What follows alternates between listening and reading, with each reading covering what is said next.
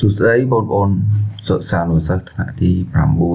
9នៅក្នុងវីដេអូនេះលោកគ្រូនឹងបង្ហាញអ្នកទាំងអស់គ្នាពីការប្រាក់បាទជាការប្រាក់ដែលគ្រូបង្ហាញនេះគឺចង់និយាយអំពីការសរុបការប្រាក់ជាមួយនឹងប្រាក់ដើមណាមិននិយាយតែការប្រាក់មួយមុខទេគឺសរុប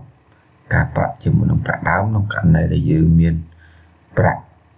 ដើមចំនួន មួយចំនួនទៅចងការប្រាក់ដើម្បីយកកម្រៃដោយទទួលបានអត្រាការប្រាក់ណាមួយក្នុងរយៈពេលណាមួយចឹងបើសិនជា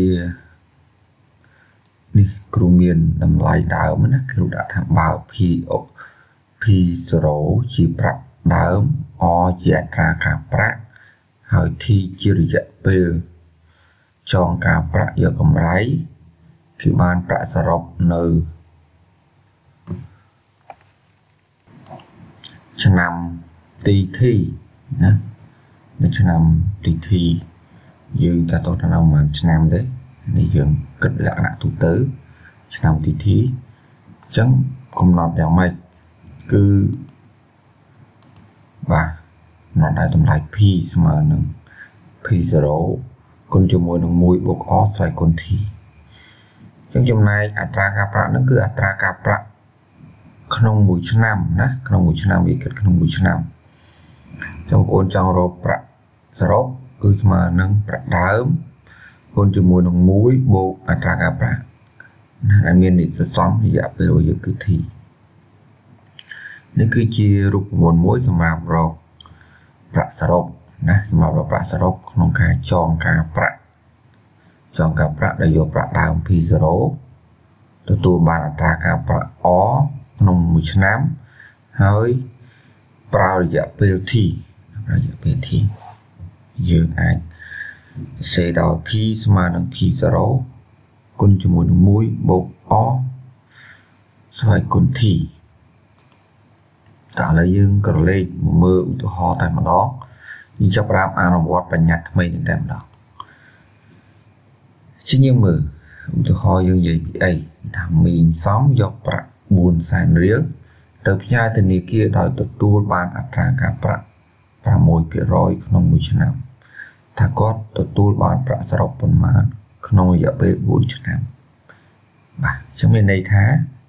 គេកំពុងតែរកប្រាក់សរុបវាអញ្ចឹងប្រាក់សរុប ដែលទទួលបានពីការចងការប្រាក់រយៈពេល4ឆ្នាំ ក្នុងអត្រាការប្រាក់6%ក្នុងមួយឆ្នាំ ដោយប្រើប្រាក់ដើម4សែនរៀលនេះតើសរុបបានប្រមាណចាប់ដើមរកទាំងអស់គ្នាតាជាយើងរកប្រាក់សរុបជាងរូបមន្តយើងមិញគឺមានរូបមន្តយ៉ាងម៉េចមិញនេះតែគ្រូបង្ហាញមិញគឺ P ស្មើនឹង P0 គុណជាមួយនឹង1បូក O ស្អែកគុណ T ចឹងបងទៅចាំធាតមួយមួយឲ្យច្បាស់ថា P ជាស្អី P0 ជាស្អី O ជាស្អី T ជាស្អីអញ្ចឹង P គឺប្រាក់សរុប P0 ប្រាក់ដើម O អត្រាការប្រាក់ក្នុងមួយឆ្នាំហើយ T គឺរយៈពេលដែលយើងយកទៅចងការប្រាក់អញ្ចឹងយើងពិនិត្យមើលសមិទ្ធកម្មរបស់យើងអញ្ចឹងយើងមានប្រាក់ដែលយើងយកទៅទៅផ្ញើគឺ4សែនរៀលអញ្ចឹងនេះជាប្រាក់ប្រាក់ដើម អត្រាការប្រាក់ក្នុងមួយឆ្នាំគឺ6%បាទ1%ហើយរយៈពេលដែលយើងចងការប្រាក់យកកម្រៃគឺ4ឆ្នាំយើងជួសតាមតម្លៃទៅបាទជួសតាមតម្លៃគឺជួសចាប់តាមជួសតាមតម្លៃប្រាក់ដើមគឺបាន4សែនរៀលគុណមួយ1បូកនឹងបាទហេតុអីកន្លែងនេះបាន6លើ100អត្រាការប្រាក់គឺ6%អញ្ចឹង6%នេះមានន័យថា 6លើ100ណាព្រោះសញ្ញាភាគរយហ្នឹងមានន័យថាភាគបែក100ចាំ6លើ100ស្វ័យគុណរយៈពេលគឺ4ឆ្នាំយើងស្វ័យគុណ4អញ្ចឹងបងអាចសរសេរវាទៅជាទូសភាគដើម្បីងាយស្រួលក្នុងការកណនាប្រមាណទីហ្នឹងកន្លែង6លើ100នេះណាសេវាទៅជាទូសភាគទៅដើម្បីងាយស្រួលក្នុងការកណនា4សែន គុណជាមួយនឹង1បូកណា6លើ100ដូរទៅជាទស្សភាគវិញគឺ0.06ស្វ័យគុណ4ធ្វើអញ្ចឹងដើម្បីងាយស្រួលក្នុងការកណនាបន្តិចឬក៏បងអូនចង់យកប្រភេទនេះមកកណនាក៏បានដែរសំខាន់ឲ្យតែបងអូនចេះកណនាឲ្យបានត្រឹមត្រូវណាចឹងយើងគិតមើលថាយើងគួរធ្វើប្រមាណវិធីណាមុនវាមានពងចោមានស្វ័យគុណហើយមានគុណជាមួយ4សែន នេះហើយយើងធ្វើប្រមាណវិធីក្នុងពងចោមុនណាចឹង1បូក0.06ចឹងវាបាន1.06ស្វ័យគុណ4ចឹងបងប្អូនកណនាស្វ័យគុណ4ទៅហើយបានចុងក្រោយយើងគុណនឹង4សែនចឹងតម្លៃសរុបដែលរកឃើញជាលទ្ធផលគឺ5សែន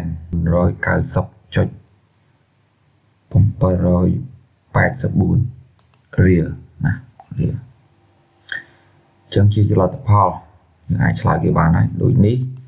ប្រាក់សរុបរយៈពេល4ឆ្នាំគឺ5សែន4000ណា4990ចុច784រៀលយើងបន្តទៅមើលឧទាហរណ៍មួយទៀតឧទាហរណ៍មួយផ្សេងទៀតថាពូសុកយកប្រាក់ 5សែនរៀលទៅផ្ញើធនាគារដើម្បីយកការប្រាក់2ឆ្នាំគាត់ទទួលបានប្រាក់6សែន5000រៀលរកអត្រាការប្រាក់ក្នុង1ឆ្នាំតាចម្លើយអញ្ចឹងក្នុងសំណួរនេះចំណោទមួយនេះគេរកអត្រាការប្រាក់ក្នុងមួយឆ្នាំវិញតាយើងចាំរក បើយើងគិតទៅវាតកតងជាមួយនឹងអីបាទតកតងជាមួយនឹងការយកប្រាក់ទៅផ្ញើធនាគារដើម្បីយកការប្រាក់ក្នុងរយៈពេលប្រមាណនេះគេសេឡើងច្បាស់នេះ2ឆ្នាំពួកគេដាក់2ឆ្នាំក្រោយ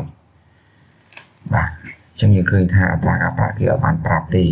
គេប្រាប់ជាប្រាក់អីនេះគាត់ទទួលបានប្រាក់អញ្ចឹង65000នេះជាប្រាក់សរុបហើយ5សែនជាប្រាក់ដើមរបស់យើងអញ្ចឹង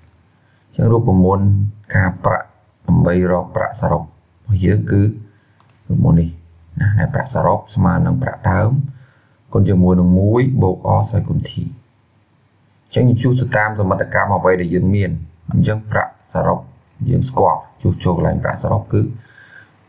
65000ស្មើនឹងប្រាក់ដើមគឺ5សែនអញ្ចឹង5សែនគុណជាមួយនឹង1បូកអព្រោះអយើងអត់ស្គាល់ទេ